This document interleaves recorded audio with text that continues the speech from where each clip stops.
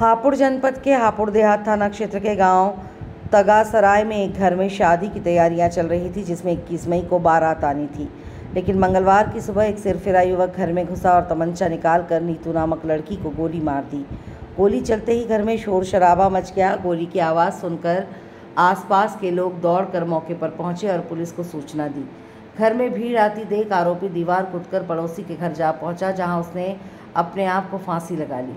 मृतक युवक की पहचान दस्ताई निवासी सोनू प्रजापति के रूप में हुई है। सूचना मिलते ही पुलिस के आला अधिकारी घटनास्थल पर पहुँचे और दोनों शवों को कब्जे में लेकर पोस्टमार्टम के लिए भेज दिया। मृतिका के भाई की तहरीर के आधार पर मुकदमा दर्ज कर मामले की जाँच शुरू कर दी गई है। वंदे भारत के लिए हापुड़ से कपिल गुज्जर की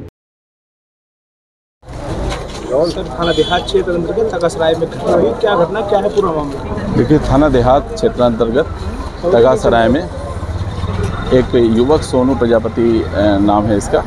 इसने नीतू प्रजापति एक लड़की है, उसके घर में घुस के उसको गोली मारी है और उसके बाद पड़ोस के ही एक घर में ऊपर फ़र्स्ट फ्लोर पे जाके इसने फांसी लगा ली है। दोनों की ही मृत्यु हो गई है। परिजन जो कि भाई हैं मृतका के उनकी तहरीर पर मुकदमा पंजीकृत किया जा रहा है और आवश्यक विधि कार्रवाई पिछले सर मृतका की कल लगन सगाई थी और इक्कीस तारीख की शादी जी हाँ जानकारी में आया कि इक्कीस तारीख को इसकी शादी थी और समस्त पहलुओं पे गहनता से जाँच चल रही है पोस्टमार्टम की कार्रवाई कराई जा रही है और शीघ्र ही सत्यता से